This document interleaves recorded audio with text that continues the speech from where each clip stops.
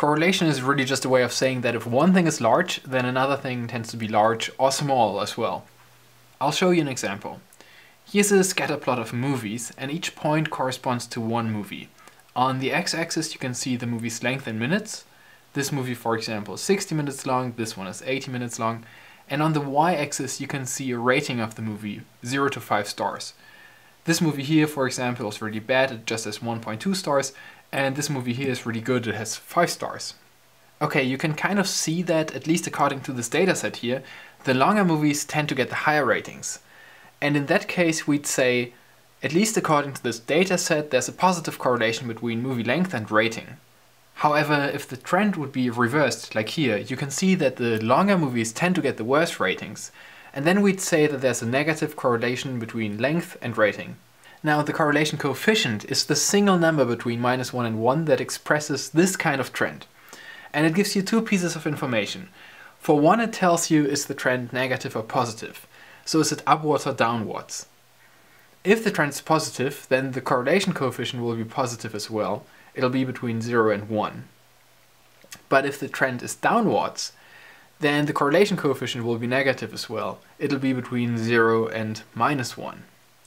But then there's a third case, and that's that the trend is exactly level. So in this dataset you can see that the rating doesn't really seem to change with the movie's length. So then the correlation coefficient is 0. And the second thing the correlation coefficient tells you is how good would a straight line be at describing your data.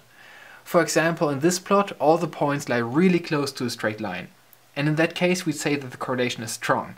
This slope is positive, so it's a positive correlation, and the coefficient turns actually out to be 0.92 in this case, and that's really big. But in this example here, the points are scattering a lot around the line, and then we'd say that the correlation is weaker. It's actually just 0.46 in this example. So the correlation coefficient's magnitude tells you how well your data scatters around a straight line. Okay, there are two things which are important to watch out for, because it's easy to misinterpret the correlation coefficient. For one, the correlation coefficient doesn't tell you if your data is representative. Maybe in my example I only showed you really weird and non-representative movies, so just because I observed a big correlation coefficient in these movies' data, I can't conclude that I'll see something similar in other movies as well. And then you have to watch out not to confuse correlation with causation. Just because the longer movies happen to get the higher ratings, you can't say that movie length causes movie to be better. For example, it might have to do something with genre. Maybe a lot of the shorter movies are documentaries, because documentaries tend to have shorter runtimes. But also documentaries might be less popular with audiences because they are less entertaining, and so they get fewer stars. So that's why in our dataset, the shorter movies tend to get the worst ratings. There could be all kinds of reasons why you see this correlation, but the correlation coefficient itself really just tells you that in your dataset two things, like movie length and rating, coincide. But it's not telling you anything about what causes this coincidence.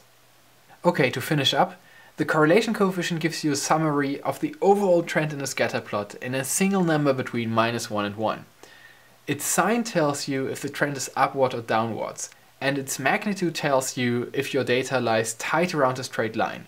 In that case the magnitude is large, or if it scatters a lot and then the magnitude is small.